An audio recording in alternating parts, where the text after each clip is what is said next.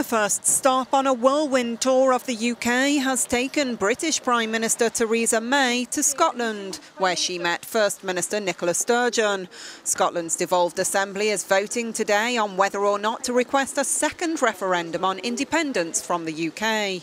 This a day before May triggers Article 50, formally beginning the UK's exit from the EU. I had been under the impression, based on weekend media reports, that she was coming to offer something in the way of more powers. It turned out that wasn't the case.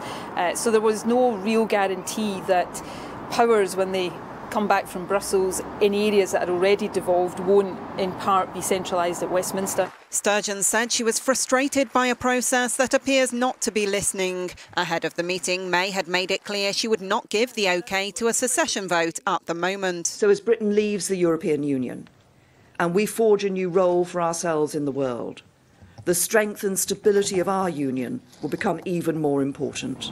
Last June's Brexit ballot revealed deep divisions in the UK. Scottish voters opted overwhelmingly to remain in the EU, and Sturgeon says they must be the ones to decide whether or not to remain in the UK and therefore leave the EU or leave the UK and attempt to broker a deal with the Union.